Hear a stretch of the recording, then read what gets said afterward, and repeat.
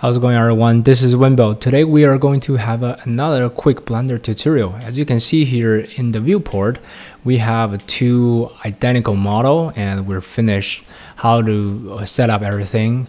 But if you look really closely, you can you can see here we have some lines and wireframes in here around the body.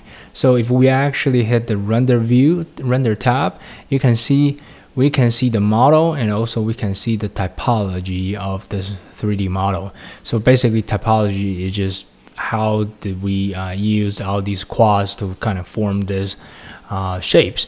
And they usually, sometimes when you show off some model, you want to show people how you do all these topologies, how you managing to do this. It's just, I, I personally think it's very cool texture and without actually texturing it. Uh, so it's actually pretty good. So how can we achieve the same result as, as uh, showing on the other side. So what we're going to do here, we are going to go to the shading mode and this is the finished one. So this is the default one. So what I want to click that uh, any part of this body, I can just generate creating a new materials using principle BSDF. So what I did, I basically just changing base color to pure white and uh, to to actually decrease the specular to zero and uh, increase the roughness to all the way to one. So it's just some very very basic material. And if I do this, and we have a HDRI image hooked, so it, everything you can see here, and uh, with the lighting, you don't need to do anything. Next thing, what I need to do here, I can just select one part of it of, of this uh, model and then I'm going to go to the uh, modifier tab. So as you can see here I already have a subdivision modifier applying here.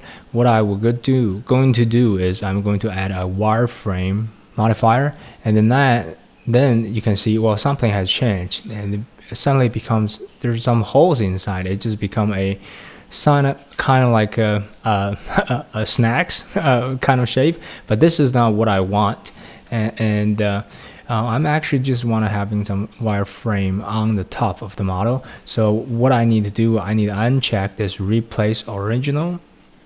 So now you can see here we have something uh, over here above the original mesh, and this is still pretty big and fat and so I want to make it thinner so I'm, I just need to change the thickness to maybe 0.001 to do that and then you can see where some very minor line up uh, structures going on here. If I go to the solid mode, you can see this is what we have in here. But now when we go to the render view, it's still the same material, so you won't see it very clearly as you can see here. So what should we do? And the next thing I, I need to go is the the uh, texture tab. And now we need to adding a second textures and to apply on that wire. So what I would do here, I just hit plus and then now what we can do we can add a new texture. I hit the plus or you can just pick a one that I already made. It's just as I call the black one line or you can change it to any color. It's basically still same materials and uh, is basically just different color. So if I do for example if I'm gonna go with a different color I can do so. So I just do blue and then come back.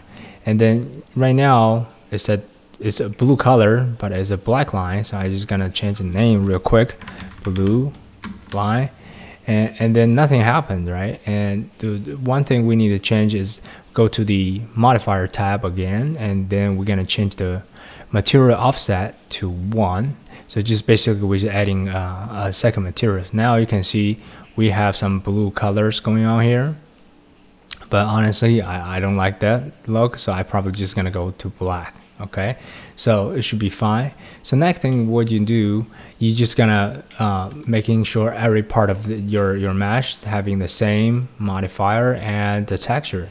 Well that can be a little bit annoying uh, to do one by one because you have to repeating a single step every single time.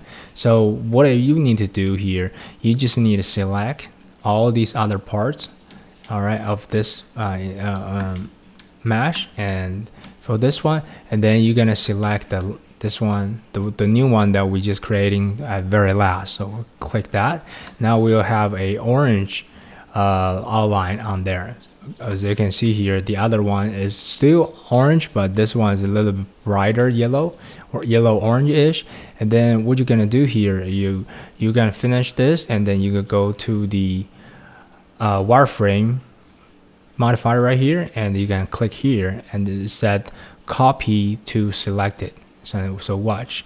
So now everything the modifier has been synced to the exactly uh, the way you want. And but if you go to the render tab I still have nothing with the black line yet. So the reason is the we haven't um, really copying the material because other part doesn't have the black material. So what we do need to do is control L and then we can just do uh, the link the material okay?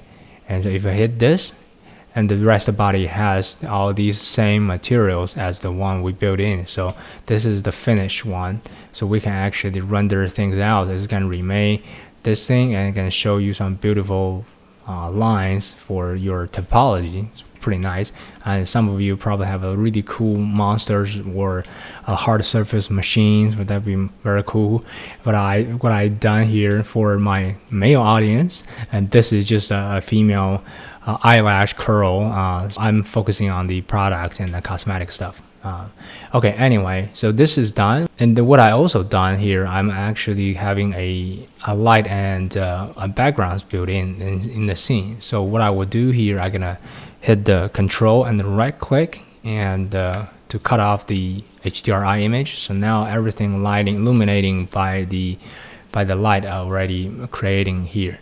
So if I click here, you will see how I made this light.